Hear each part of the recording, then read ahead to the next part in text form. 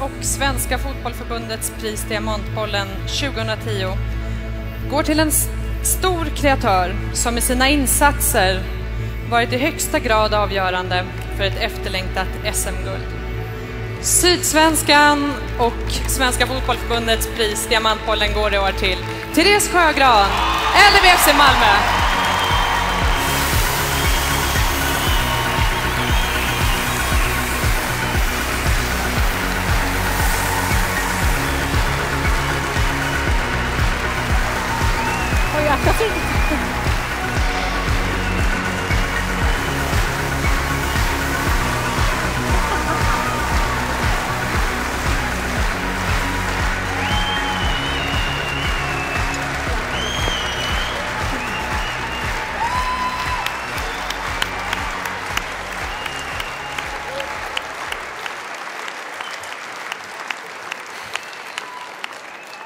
Ja, det är ett otroligt år vi har haft i LVFC.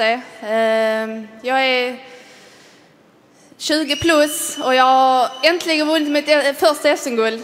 Ehm, så det är hur stort som helst.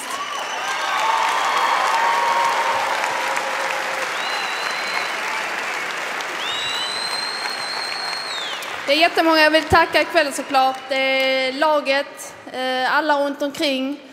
Eh, min familj, ehm, ni finns där för mig även om jag inte hinner träffa er så mycket. Så det är hur stort som helst, jag älskar er över allt annat.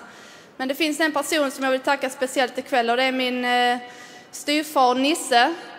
Ehm, du kom in i mitt liv när jag var 11 år och du har funnits där hela vägen. Eh, du körde mig till alla träningar, alla väldigt spännande talangläger som man var tvungen att åka på. Ehm, du var den enda som förstod att jag behövde ta skor med känsla i.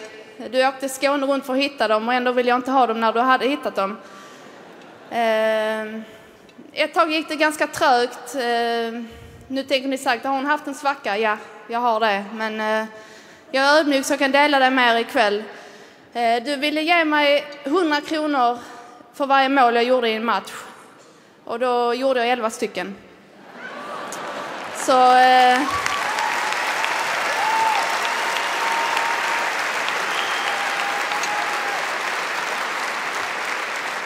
Så Janne, vår forwardstränare, du kanske ska ge mig pengar istället för att vi ska träna avslut varje dag. Men ja, det är upp till dig liksom. Eh, tack så jättemycket. Jag är jättestolt över det här priset. Det är andra gången jag får det och det är, det är nästan det är större i år för i, i år står jag här som en vinnare. Tack så mycket.